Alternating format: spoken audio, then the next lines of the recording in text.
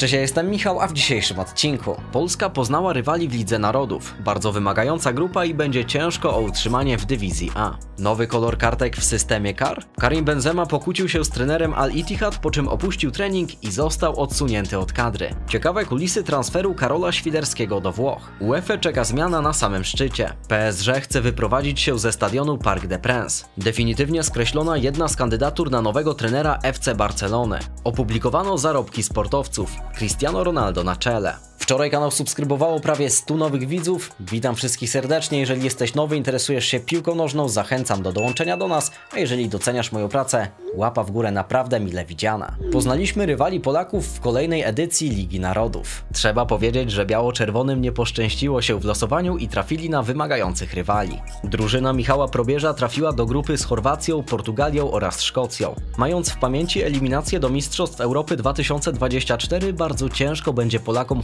chociażby o utrzymanie. Według użytkownika AbsurdDB wylosowaliśmy dziewiątą najtrudniejszą grupę z 64 możliwych kombinacji. Jego wyliczenia dają nam 20% szans na utrzymanie w dywizji A. Jak myślisz, ile punktów Polska zdobędzie w tak trudnej grupie?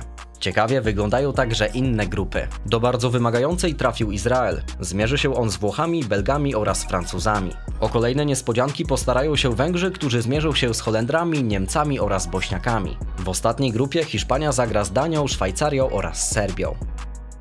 Lada moment może dojść do ogromnej rewolucji w piłce nożnej. Według nieoficjalnych informacji The Telegraph niedługo mają zostać wprowadzone niebieskie kartki. Co mają oznaczać? Otóż piłkarz nią ukarany ma zejść z placu gry na 10 minut. Niebieska kartka jest czymś pomiędzy żółtym a czerwonym kartonikiem. Kombinacja dwóch niebieskich lub żółtej i niebieskiej będzie skutkowała wyrzuceniem z boiska. Według organizacji International Football Association Board nowy kolor na początku ma być przetestowany w Pucharze Anglii oraz Pucharze Anglii Kobiet. Pomysłowi IFAB sprzeciwia się UEFA z Aleksandrem Czeferinem na czele. Czas pokaże, czy system kar w piłce nożnej doczeka się ogromnej zmiany. Sytuacja Karima Benzemy w Al-Ittihad wydaje się być coraz bardziej skomplikowana. Jakiś czas temu dużo mówiło się o problemach Francuza w saudyjskim klubie. Napastnik m.in. nie poleciał z zespołem na obóz przygotowawczy. Przyczyną miał być konflikt z trenerem Marcelo Gallardo. Potem jednak wydawało się, że sytuacja została opanowana. Według informacji marki nic takiego nie miało miejsca. W poniedziałek na jednym z treningów Benzema miał się pokłócić z trenerem. Sprzeczka była na tyle poważna, że Argentyńczyk kazał Francuzowi trenować indywidualnie. Karim odmówił, po czym opuścił trening. W ramach kary Benzema nie pojawił się w kadrze zespołu na środowy mecz z Altai. Jeśli informacje marki są prawdziwe, przygoda Francuza z Al-Ittihad bardzo szybko może dobiec końca. Niestety z kolejnymi problemami zdrowotnymi musi się zmagać Thiago Alcantara. Przygoda Hiszpana w Liverpoolu jest naznaczona kontuzjami. Ostatnio 32-latek zmagał się z urazem biodra, przez który miał 10-miesięczną przerwę w grze. Do gry wrócił w ligowym meczu przeciwko Arsenalowi, w którym The Reds przegrali 1 do 3. Hiszpan zagrał kilka minut. Niestety według brytyjskich mediów znowu złapał uraz. Według The Times Thiago Alcantara nabawił się kontuzji mięśniowej. Aktualnie nie wiadomo jak długo potrwa jego przerwa. Umowa 32-latka z Liverpoolem obowiązuje do 30 czerwca 2024 roku. Bardzo wątpliwe jest to, że zostanie ona przedłużona. Karol Świderski postanowił podzielić się ciekawymi kulisami swojego transferu do Włoch. Polski napastnik po czasie spędzonym w Stanach Zjednoczonych postanowił wrócić do Europy. Jego nowym klubem został Ellas Verona, w którym zdążył już zadebiutować. Kulisy transferu do tego klubu były bardzo ciekawe. Świderski w rozmowie z portalem meczyki.pl zdradził, że miał bardzo mało czasu na transfer. W środę, czyli dzień przed zamknięciem okna, dostałem potwierdzenie około 10, że mogę lecieć do Włoch. Miałem niecałe dwie godziny, żeby się spakować i opuścić USA. Zostawiłem tam praktycznie wszystko, wziąłem dwie, trzy walizki i ruszyłem. Jak dobrze wiemy, wszystko zakończyło się happy endem. Świderski jednocześnie przyznał, że miał zapytania z Bundesligi, Ligę oraz innych włoskich klubów. Jednak w dużej ilości przypadków kłopotem były kwestie finansowe. Niedługo dojdzie do dużej zmiany na samym szczycie UEFA. Obecnym prezesem federacji jest Aleksander Czeferin. Pełni on tę funkcję nieprzerwanie od 2016 roku. Jak się okazuje, jego obecna kadencja będzie jego ostatnią. To oznacza, że w 2027 roku będzie musiał zostać wybrany nowy sternik UEFA. Kto nim zostanie? Być może kandydować zdecyduje się Zbigniew Boniek, który aktualnie pełni rolę wiceprezesa federacji. Paris Saint-Germain niedługo może czekać wyprowadzka z Parc des Princes. Stadion formalnie należy do miasta. PSG aktualnie go wynajmuje, co ogranicza niektóre działania klubu. W związku z tym Nasser Al-Khelaifi chciał wykupić obiekt od miasta. Na to jednak nie przystali włodarze stolicy Francji. Właścicielowi PSG skończyła się cierpliwość, dlatego zapowiedział wyprowadzkę. Zbyt łatwo jest mówić, że stadion nie jest na sprzedaż. Wiemy czego chcemy. Zmarnowaliśmy lata próbując kupić Parc des Princes. To koniec, chcemy się wynieść. Zobaczymy co przyniesie przyszłość. Być może w obliczu wyprowadzki PSG włodarze miasta zmienią zdanie.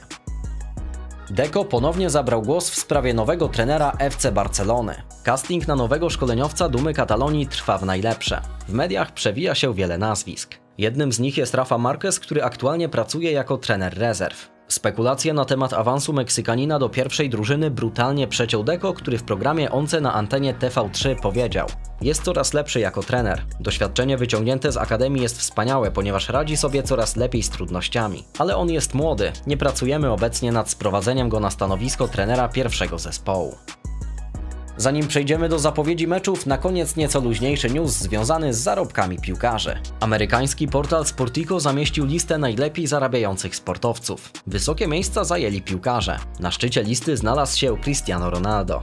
Jego łączne zarobki za 2023 rok szacuje się na 275 milionów dolarów. Na trzecim miejscu znalazł się Lionel Messi, który zainkasował 130 milionów dolarów. Na piątym miejscu uplasował się Mbappe z przychodami wynoszącymi 125 milionów dolarów. 4 miliony mniej od Francuza zarobił Neymar. Jak sami dobrze widzicie, w pierwszej szóstce najlepiej zarabiających znalazła się czwórka piłkarzy.